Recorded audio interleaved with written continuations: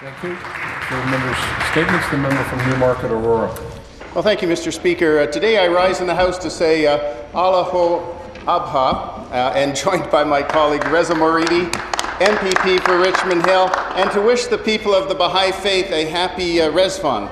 Uh, Rezvan is a 12-day religious festival and is one of the most important celebrations of the Baha'i faith. Often referred to as the king of festivals, it takes its name from the Garden of Rezvan, located near Baghdad, Iraq. The site is historically significant as it's uh, where uh, uh, Baha'u'llah, uh, the founder's faith, spent 12 days prior to his religious journey to Ist- uh, Istanbul before declaring that he was a divine messenger in 1863. Beginning at sunset on April 20th until sunset May 2, followers, followers of the Baha'i faith honor the 12 days that Baha'u'llah spent in the Garden of Rezvan by celebrating spring and renewal of spirituality.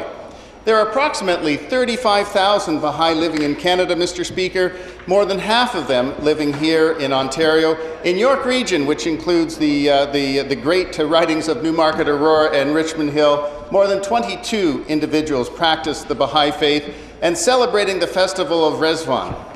I would like to wish everybody celebrating this 12 day religious festival a happy Rezvan, including the constituents of Newmarket Aurora who celebrate this festival, particularly Mr. and Mrs. Jeffrey Farzaneh Peterson and members of the Spiritual Assembly of Baha'is of Newmarket who are here with us today. Thank you.